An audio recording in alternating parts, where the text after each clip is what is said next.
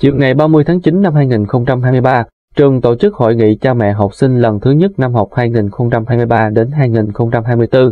Các bạn đoàn viên học sinh tình nguyện đã thực hiện công tác đón tiếp, hướng dẫn quý phụ huynh phòng họp, bố trí sắp xếp chỗ để xe và đảm bảo vệ sinh sân trường. Hội nghị cha mẹ học sinh đầu năm là hội nghị quan trọng để thầy cô chủ nhiệm gặp mặt, trao đổi, thông tin các nội dung quan trọng của lớp học về sĩ số lớp, quy chế hoạt động lớp học, các khoản thu và chương trình năm học. Hội nghị diễn ra thành công tốt đẹp.